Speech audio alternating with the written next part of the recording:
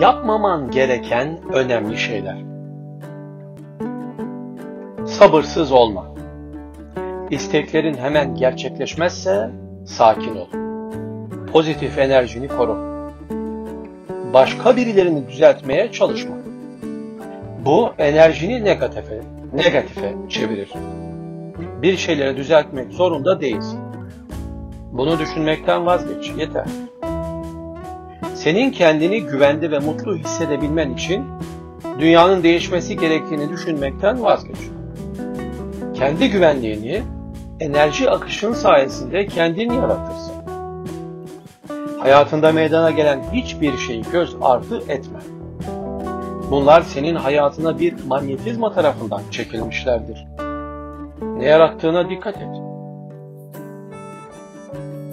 Moralin bozuk olduğunda hissettiklerini isimlendirmeye çalışma, bundan kurtulmanın yolunu bulmaya çalış.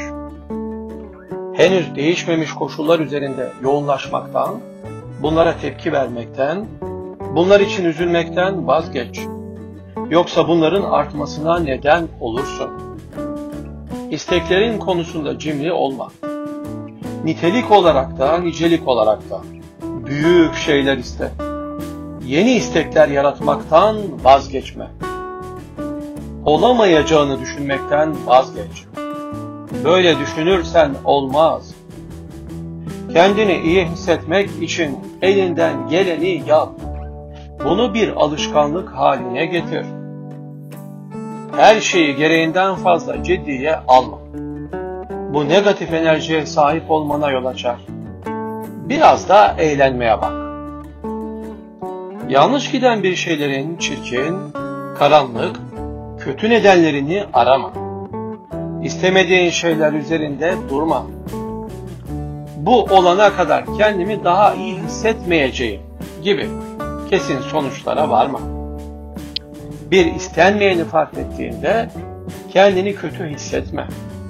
Aksine bunu fark ettiğin için kendini tebrik et istemediklerini bilmediğin sürece istediklerini nereden bileceksin?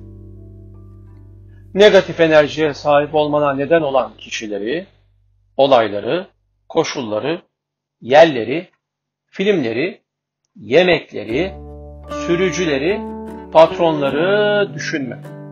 Ne olursa olsun. Enerjini istediğin şeylere aktarmaktan kaçınma hastalıklardan söz etme. Bedeninin kendini ne kadar hızlı onardığından söz et. Bahaneler uydurma. Yakınma.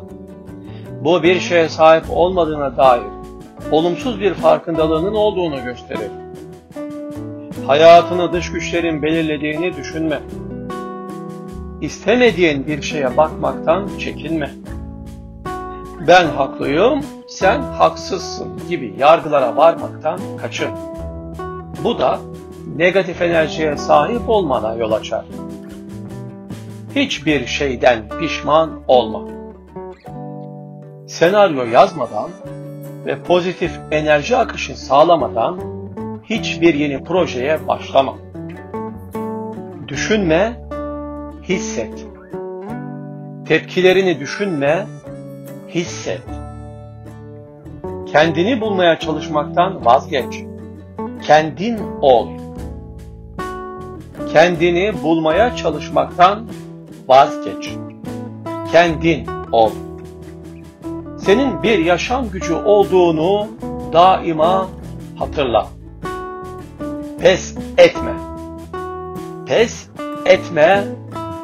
Asla vazgeçme.